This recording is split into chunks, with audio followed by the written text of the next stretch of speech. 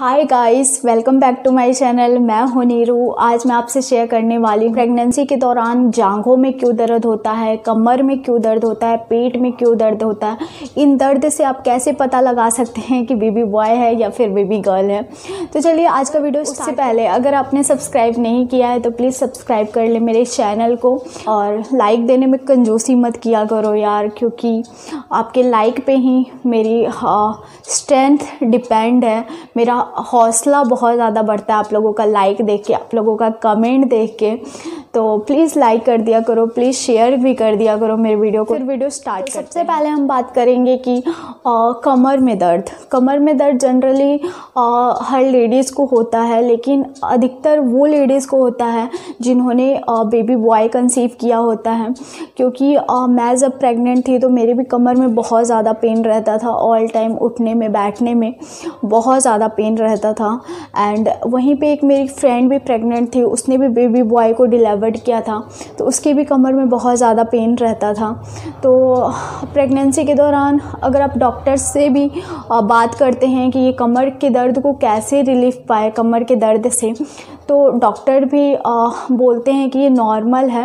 आप सबकी प्रेगनेंसी में कमर में पेन किस तरह? तरीके से रिलीफ पा सकते हैं अपने कमर के दर्द से? आप योगा कर सकते हैं जो हल्के फुल्के स्ट्रेचिंग वगैरह होता है वो आप कर सकते हैं। बहुत ही बेस्ट होता है बहुत बेस्ट योगा है। उससे आपको कोई साइड इफ़ेक्ट भी नहीं होगा एंड कोई प्रॉब्लम भी नहीं होगा बाबू को बेबी को जो भी है। तो आप योगा कर सकते हैं एंड हल्की फुल्की आप वॉकिंग कर सकते हैं जैसे दस पंद्रह मिनट का आप वॉकिंग कर सकते हैं या बाहर जाके वॉकिंग कर सकते हैं छत पे कर सकते हैं या फिर घर में ही कर सकते हैं। मेरा सेकेंड ट्राइमेस्टर से मेरे कमर में बहुत ज़्यादा पेन रहता था तो मैं घर में ही वॉकिंग कर लिया करती थी मैं बहुत लेट मॉर्निंग पर्सन हूँ तो मैं बहुत जल्दी नहीं जग सकती हूँ। मैं लेकिन अब तो यार मुझे जगना पड़ता है क्योंकि बाबू इतना रोता है और परेशान करता है उसको है सुबह ही जगना रहता है। चलिए छोड़िए इन सब बातों को हम लोग बहुत गप्पे शप्पे बाद में कर सकती थी। मैं इवनिंग को वॉकिंग कर लेती थी। इवनिंग को ही मैं योगा करती थी वॉकिंग करती थी सारी चीज़ें मैं इवनिंग में ही करती थी। क्योंकि जैसे कि मैंने बताया कि मैं मॉर्निंग पर्सन नहीं हूँ तो हाँ अगर आप मॉर्निंग में जग जाते हैं जल्दी जग जाते हैं तो मॉर्निंग में बेस्ट है आप वॉकिंग कर सकते हैं योगा कर सकते हैं। मॉर्निंग का टाइम बहुत अच्छा होता है आप मॉर्निंग में कर सकते हैं। एंड uh, uh, मुझे uh, बहुत ज़्यादा कमर में पेन सेकेंड ट्राइमेस्टर से होता था एंड वहीं पे मेरी फ्रेंड को फ़र्स्ट uh, ट्राइमेस्टर से ही उसको पेन रहा है। तो uh, सबका बेबी बॉय का सिम्टम जो होता है और वो सेम सेम लगभग होता है। लेकिन आ, कुछ कंडीशन में कुछ चीज़ें चेंज हो सकती है। जैसे मेरे कमर में पेन सेकेंड ट्राइमेस्टर से रहा है एंड उसकी कमर में पेन फ़र्स्ट ट्राइमेस्टर से ही था।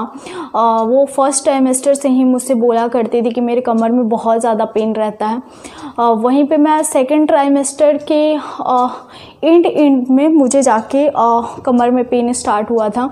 एंड पैर और जांघों में क्रैम्प्स कब होते हैं? तो पैरों में दर्द आपका जब वेट गेन हो जाता है सेकेंड ट्राइमेस्टर के मुझे लगता है इंड इंड से आ, आपके पैरों में दर्द स्टार्ट हो जाता है। क्योंकि आ, मुझे भी पैरों में क्रैम्प्स बहुत गंदी वाली क्रैम्प्स होती थी। जब मैं सोती थी तो ना मैं लेफ़्ट हो सकती थी ना मैं राइट हो सकती थी ना मैं जग पाती थी ना उठ के बैठ पाती थी। और यार उस टाइम पे तो वॉशरूम मतलब बार बार जाने की ज़रूरत पड़ती है। पाँच दस मिनट में आपको लगेगा कि वॉशरूम जाना ही है। रात को भी चैन नहीं मिलता है। रात को भी बहुत गंदी वाली क्रैम्प्स होती थी, क्योंकि बाद उठने में अब पता चलता था, लेफ़्ट नहीं हो सकते थे, राइट नहीं हो सकते थे। उस टाइम पे बहुत गंदा वाला क्रैम्प्स होता है। और मेरे राइट किसी ने मुझे मुझसे पूछा था कि आपके कौन सी जांघों में ज़्यादा पेन होता था? तो मेरे राइट जांघों में बहुत ज़्यादा पेन होता था। आ, बहुत ज़्यादा गंदा वाला क्रैम्प्स होता था। जब मैं जगती थी या फिर जब मैं मतलब एक बहुत बड़ा टास्क लगता था लेफ़्ट राइट होना वॉशरूम जाना बहुत बड़ा टास्क लगता था। लगता था कि प्रेगनेंसी के टाइम पे ऐसा होता है कि आपको आ, बस सोने का मन करता है। लेकिन उस समय आपको कोई उसी में अपना काम भी उस समय बहुत बड़ा लगता है, उस समय टास्क लगता है कि अपना काम कैसे कोई करे।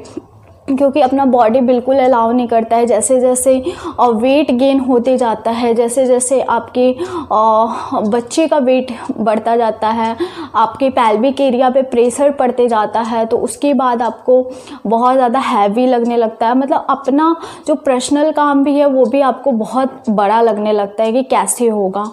और उस समय बहुत ज़्यादा वॉशरूम जाने की ज़रूरत पड़ती है तो बहुत गंदे वाले क्रैम्प्स होते हैं उस टाइम पे। उस समय ये होता है कि आप सीधा तो लेट नहीं सकते हैं, सीधा सो नहीं सकते हैं, क्योंकि बेबी को प्रॉब्लम होता है सीधा सोने में। तो या तो आप लेफ़्ट सोएँगे या फिर राइट सोएँगे। तो लेफ़्ट राइट सोने पे क्या होता है, पैर के ऊपर पैर आता है और पेट का वज़न जो है बहुत ज़्यादा होता है, जिसकी वजह से आपको क्रैम्प्स आते हैं। तो ये नॉर्मली है, ये सबके साथ होता है। जिसका ज़्यादा बेबी का वेट होता है, उसको ज़्यादा आता है एंड जिसका थोड़ा कम बेबी का वेट है तो उसको थोड़ा कम आता है, लेकिन आता सबको है। और कमर में पेन किसी को होता है, किसी को नहीं होता है। कहा जाता है जिसके बेबी गर्ल जो कंसीव करता है तो उसको पेट में ज़्यादा पेन रहता है। एंड जो बेबी बॉय कंसीव करता है उसको कमर में बहुत ज़्यादा पेन और मेरा बेबी बॉय हुआ है तो मेरे कमर में बहुत ज़्यादा गंदा वाला पेन रहता था। और सेकेंड ट्राइमेस्टर के लास्ट लास्ट में मुझे पेन स्टार्ट हो गया था। मुझे स्टार्टिंग से पेन नहीं था। स्टार्टिंग से मेरे पेट में पेन रहता था थोड़ा थोड़ा लेकिन वही थर्ड ट्राइमेस्टर में मेरे पेट में भी पेन रहता था एंड पैल्विक एरिया में भी पेन रहता था एंड कमर में भी पेन रहता था। तो तीनों जगहों पे बहुत पेन रहता था। उस समय बहुत प्रॉब्लम होती है। थर्ड ट्राइमेस्टर में तो बहुत ज़्यादा प्रॉब्लम होती है पेन्स क्योंकि हर जगह पेन पेन स्टार्ट हो जाता है। आपके बॉडी में पेट, कमर एंड पैर वाट लग जाता है सब जगह। और घुटनों में भी कई के तो प्रॉब्लम होता है। लास्ट ट्राइमेस्टर में जाते जाते बहुत किसी के पैरों में स्वेलिंग हो जाती है बट मेरे पैरों में नहीं थी। कहा जाता है कि लड़की अगर कोई कंसीव करता है प्रेग्नेंट लेडी तो उसके पैरों में स्वेलिंग हो जाती है। अगर आप बेबी बॉय कंसीव कर तो आपके पैरों में आ, स्वेलिंग नहीं होगी। क्योंकि मेरा बेबी बॉय हुआ है और मेरे पैरों में स्वेलिंग नहीं थी तो हाँ मैं बोल सकती हूँ कि हाँ बेबी बॉय के टाइम पे पैरों में स्वेलिंग नहीं होता है।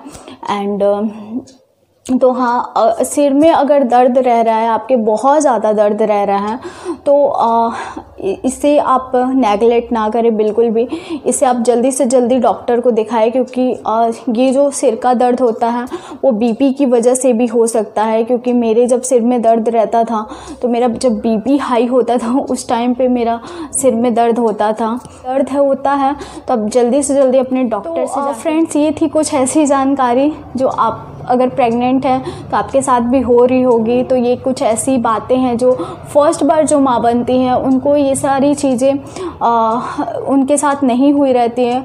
लेकिन आ, उनको थोड़ा अजीब लगता है कि उनके पेट में क्यों दर्द होता है कमर में क्यों दर्द हो रहा है।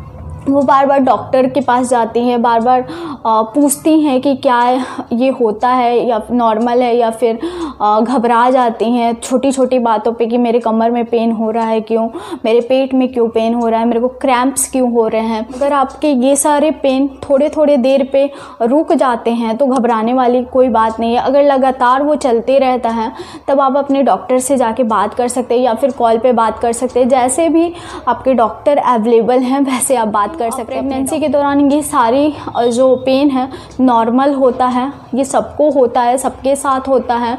आ, मेरे साथ भी हुआ था सबके साथ होता है। तो घबराने बताइएगा ये आपको वीडियो कैसी लगी? अगर पसंद आई होगी तो मेरे वीडियोज़ को थम्स अप देना बिल्कुल ना भूलें। सब्सक्राइब कीजिए नीरू ब्यूटीफुल कॉर्नर को और ज़्यादा से ज़्यादा शेयर कीजिए ताकि हम लोग बहुत जल्दी यूट्यूब फैमिली हम लोगों का बड़ा हो जाए हम लोगों के फैमिली में बहुत सारे लोग आ जाएँ। और अगर आप चाहते हैं कि मैं आपके साथ ऐसे ही बनी रहूँ तो प्लीज़ मेरे चैनल को ज़्यादा से ज़्यादा शेयर करें। अगर आप मेरे चैनल पर पहली बार आए हैं अगर आपने सब्सक्राइब नहीं किया तो प्लीज़ सब्सक्राइब कर दें। करें और फिर मिलते हैं और आपका कोई क्वेश्चन होगा तो ज़रूर लिखिएगा नीचे कमेंट बॉक्स में कि आपका क्या क्वेश्चन है। और आप नेक्स्ट वीडियो किस चीज़ पे कौन से टॉपिक पे आप देखना चाहते हैं तो प्लीज़ आप मुझे कमेंट बॉक्स में ज़रूर बताइएगा। तो आपके कमेंट कमेंट और लाइक देख के मुझे हौसला मिलता है। तो चलिए फिर मिलते हैं एक नए और इंटरेस्टिंग वीडियो के साथ। तब तक के लिए बाय फ्रेंड्स लव यू